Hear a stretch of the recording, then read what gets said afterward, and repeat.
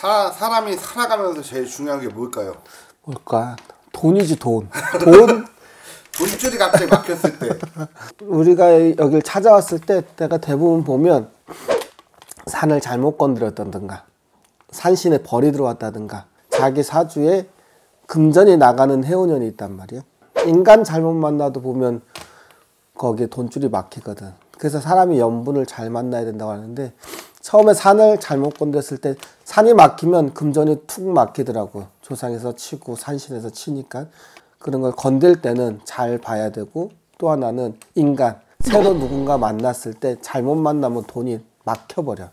그러니까 서로 궁합이 중요하다고 생각하거든.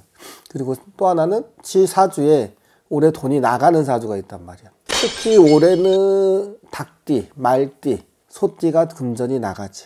그러면 막혔을 때는 어떻게 해야 돼요? 굿해야지. 맨날 굿만 한다고 하는데 맨날 굿하진 않거든. 굿은 다가 아니에요. 보면 부적으로 막을 수도 있고 뭐 한두 달 공백 기간 지나면 넘어갈 수도 있고 그거는 그 사람마다 다르니까 봐야지. 꼭 굿은 아니에요.